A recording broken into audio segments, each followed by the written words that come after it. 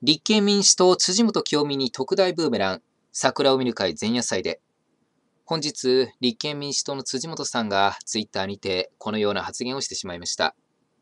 安倍前総理、2月17日に衆議院予算委員会で私が事実でなければ責任を取る覚悟かと問うと、私がここで総理として答弁するということについては、すべての発言が責任を伴う。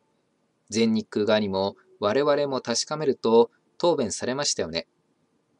事実でないとバレたら、秘書のせいってそれはない。我々と言った以上、部下をかばおうよとなっておりまして、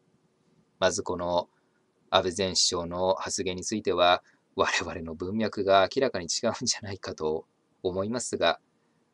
辻元さん、このように捜査中の案件において、安倍前首相を現時点で事実に基づかず、誹謗中傷されておられますが、まず辻元さんの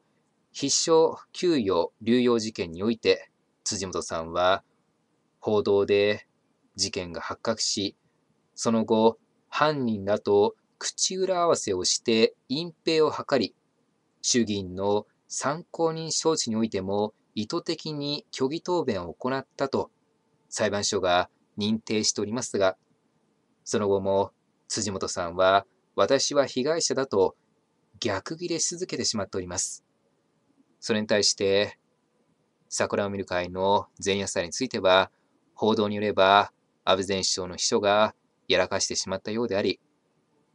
現状、安倍前首相側は検察の捜査に真摯に全面的に協力しておりますので、辻元さんとは全く対応が異なります。辻元さん、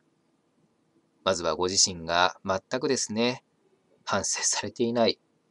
秘書給与流用事件と今回の事件について、まあ、ぜひともご自身の対応を比べていただき、どちらがですね、おかしな対応をとっているのか、今一度考え直して、反省し直していただくように、お願いいたします。以上になります。ご清聴いただき、ありがとうございました。